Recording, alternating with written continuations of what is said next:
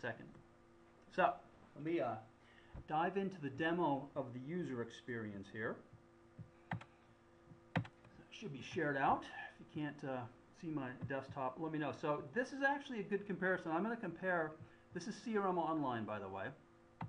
So here's my production CRM um, Online, which is the current version. And I can jump back and forth. I've got my beta CRM Online uh, 2011 open in a different window. So if you look at the 4.0 experience, I've done a little search here. I've done a quick search for 8020 and I found 80-20 results here. And you know, you see the things that you can do across the top here. I could make a new activity, but if I make a new activity here, you're probably familiar that that wouldn't be associated with this record here. It doesn't fill that in. I do have this more actions drop-down menu that some of my users have even figured out how to use. If I uh, open up the form, this is form, standard account form, slightly customized but not very you know, you could do this. You go to activities, and if I click new activity, it's going to create a new activity. And after about four or five clicks, of course, you never really realize how many clicks this is until you see an alternative approach. I could create a new appointment for this record. If I had the coordination to do this, I could pull down the actions menu, click add activity, and if I could do, oops, select off. of That, you've ever seen this before? Actually, most of my users never discovered that this was here, but when they do discover it, if you just miss that by a little bit, the menu goes away. So there's a couple of little frustrations that I spent a fair amount of time trying to teach around in, in CRM 4.0, but let me contrast that with the 2011 experience. So here we are, kind of the similar situation. I simply navigated to accounts and I typed 8020 in the search box. It's off to the right here. Now, if I'm here uh, selected on this record, I could do a number of things here. I could send direct email. The functionality here is pretty similar to what you're familiar with in CRM 4, but this is a lot more obvious. Better screen real estate, has got more room up here.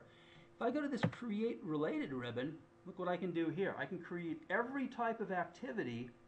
If I create a phone call or if I create an appointment from here, notice the selected record automatically gets put in the regarding. So what's that, two clicks as opposed to about five or six in, in, in, in the 4.0 version. So now I just create this and I've already got that popped into the regarding field. So that's a nice little bit of functionality. Notice this other activities drop down. You see training event, you think, hey, wait a second, training event's not a CRM activity. That's a custom activity. I'll show you that in, in another section, session. We'll talk about um, uh, there's a lot of, of enhancements to the customization um, um, functionality that you can get out of CRM 2011 and creating custom activity types is, is one of is, it's a really important one. So, uh, another thing that I like about this, and we're going to drill down this a little bit more later today, is the customize ribbon. So here we are on an account record, and I'm again from accounts. I'm two clicks away from being able to customize forms or views or customize the drill down and customize the entity itself. And um, there's a lot of uh, lot of things to like about the ribbon UI. You'll see this in more detail as we, we uh, move throughout here. Let me get rid of that search and let me drill down now a little bit into what I referred to in the slide deck as sort of productive visualization. So past the kind of gee whiz stuff, let me show you a couple of scenarios that I think illustrate how, how useful this kind of in-place vi visualization can be. So here I am on the account list. And if I expand this over here, you'll see this little area to the right-hand side. You may have seen this before in some of the demos. You know, I can size this a little bit. I could also, if I go to the View menu, I could pull down the charts drop down if I wanted to. I could change that to the top. This might make sense if I had some sort of a time series chart or something like that. You know, it's more of a bar chart or a line chart. Doesn't necessarily make sense for the, uh, the chart that I have here. So I'll pop it back.